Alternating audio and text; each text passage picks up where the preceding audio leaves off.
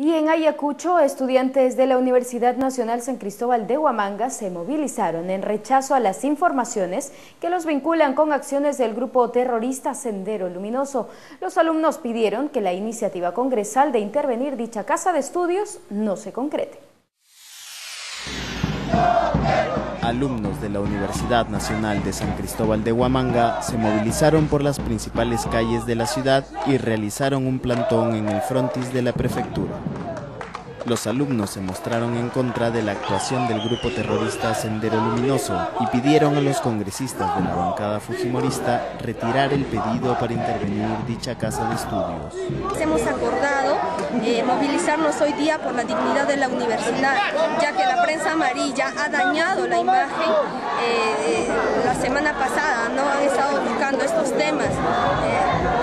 ¿Qué opinas de los compañeros, de tus compañeros de estudio? Que han sido fotografiados pues con armas, ¿no? Lamentamos que estos muchachos hayan sido engañados y llevados allá, ¿no? Eh, creo que los conocemos como dirigentes, como hombres públicos y bueno, este, espero que las investigaciones se aceleren y todo esto se esclarezca lo más antes posible fue precisamente en un diario de circulación nacional en el que se publicaron fotos de cuatro estudiantes de la Facultad de Ciencias Sociales de dicha universidad portando armas durante un campamento en el que se habrían reunido con el líder terrorista Camarada José.